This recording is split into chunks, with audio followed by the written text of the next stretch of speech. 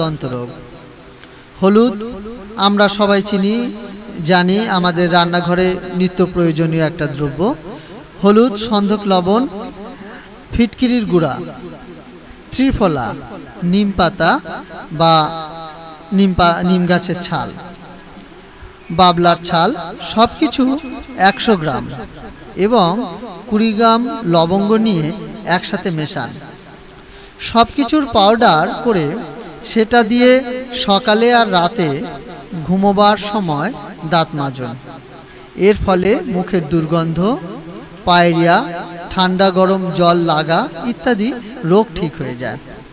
বন্ধুরা, আজকেই তোমরা এটা করে ফেলতে পারো। একটু কষ্ট হবে হয়তো বাড়িতে, কিন্তু দাঁতের রোগের সমস্যায় ভুগছে আমাদের প্রায় সেভেন্টি পার্সেন্ট লোকজন। তো যদি, আর রাতে কিন্তু ব্রাশ করতে ভুলবে না কেউ, কারণ খাবারটা রাতেই আমাদের গালের মধ্যে থেকে পচে গিয়ে কিন্তু দুর্গন্ধ সৃষ্টি করে এবং ব্যাকটেরিয়া জন্ম নেয়, তার ফলেই কিন্তু দাঁতের বিভিন্ন রোগ সৃষ্টি হয়। সকালের থেকেও ইম্পর্টেন্স হচ্ছে রাতের বেলা দাঁত ব্রাশ, দাঁতটা মেজে ফেলা।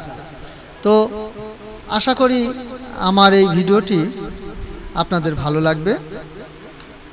আমার ভিডিওটি যদি ভালো লাগে, তাহলে অবশ্যই শেয়ার করুন লাইক করুন এবং সাবস্ক্রাইব করুন। আমাদের মনোবল বাড়াতে এটি সাহায্য করবে এবং আপনার মতামত আমাদের কমেন্ট করে জানান। কোনো অসুবিধা থাকলে আমাদের কমেন্ট বক্সে লিখুন বা কাজ না হলে আমাদের কমেন্ট করে বলুন।